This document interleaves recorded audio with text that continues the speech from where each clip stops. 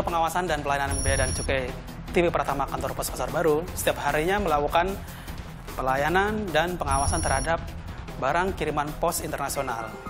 Ini kan klien saya, klien bos saya itu ngirim 6 tapi diterimanya emang sih satu ya jadi yang lima disita. Nah seandainya yang lima itu kita mau urus supaya kita bisa dapat bagaimana ya?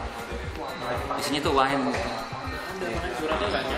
emang sih di ketentuan maksimal kan satu liter ya.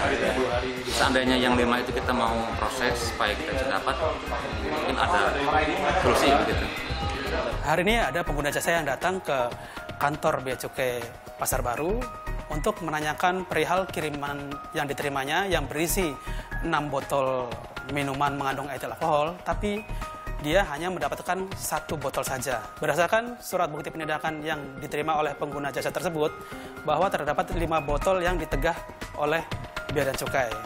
Uh, pengguna jasa tersebut datang ke kantor kami untuk menanyakan apakah lima botol yang ditegah tersebut masih dapat diurus sehingga di, uh, pengguna jasa tersebut dapat memperoleh lima botol yang ditegah tersebut. Sama Robert ya? Masalahnya apa Pak?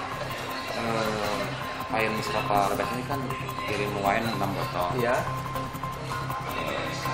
yang diterima cuma satu Yang diterima cuma satu. Ah, ah, karena emang sih itu ada surat ini emang dis- disita ya yang saya tahu juga ketentuannya kan satu liter sama satu liter ya 350 ml Pak Oh. kiriman pos. Oh. Jadi menurut Undang-Undang Cukai yang ini, Hmm. pasal 9 ayat 3 aturan pemasukan MMA minuman mengandung etil alkohol yang melalui kiriman pos aturannya 350 ml Oh.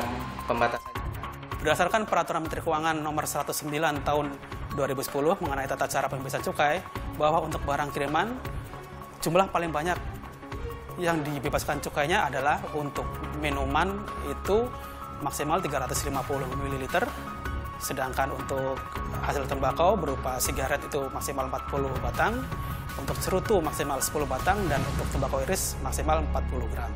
Nah kalau misalnya misalnya ini MMA ini langsung datang ternyata dia lebih dari 350 ml itu langsung dimusnahkan mah. oh dimusnahkan Iya, jadi langsung dimusnahkan. Kalau melebihi dari pembatasan yang sudah ditetapkan undang-undang ini. hmm, Undang-undang nomor 39 tahun 2007. Jadi- Jadi, lima botol, Bapak cuma satu botol itu nyampainya ya. ah, oke Itu masalahnya alasan kita buat surat bukti penindakan. Oke lah, saya saya terima ini alasannya. Hmm. Menurut saya seandainya yang lima itu kita mau urus sesuai dengan ketentuan, Oh ya nggak bisa kan harus 350 ml sekali masuk. jadi di- dimusnahkan ya. Mm-mm. Terhadap lima botol yang dilakukan penegakan tersebut akan kita proses sesuai dengan ketentuan yang berlaku menjadi barang dikuasai negara, barang milik negara, dan akhirnya kita ajukan permohonan untuk pemusnahan. Eh, Kantor Pengawasan dan Pelayanan Bea Cukai Tipe Pertama Kantor Pasar Baru secara periodik melakukan pemusnahan terhadap barang-barang hasil penindakan eh, setiap tiga bulan. Sehingga dalam setahun kita melakukan pemusnahan 3 sampai 4 kali pemusnahan. Pada saat proses pemusnahan tersebut dihadiri dan disaksikan juga oleh perwakilan dari PT Pos Indonesia, dari karantina, dan juga dari kejaksaan. Proses pemusnahan kita lakukan secara terbuka di lobi uh, kantor kami, sehingga masyarakat umum maupun publik bisa langsung ikut menyaksikan proses pemusnahan tersebut. Demikian kami pemerintahan di negeri ini untuk sebagai community protector.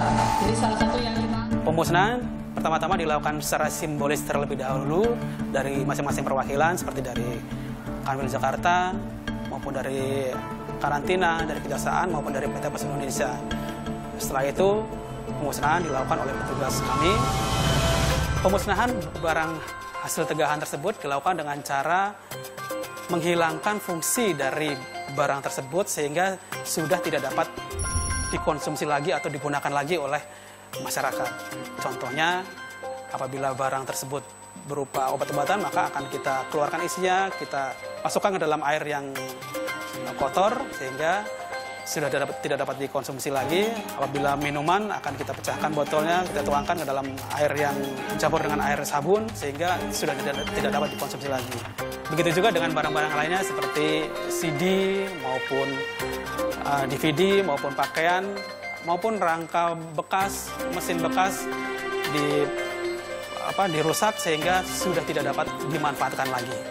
Kami berharap masyarakat lebih memahami mengenai peraturan mengenai barang larangan dan pembatasan di Indonesia sehingga masyarakat tidak akan merasa dirugikan.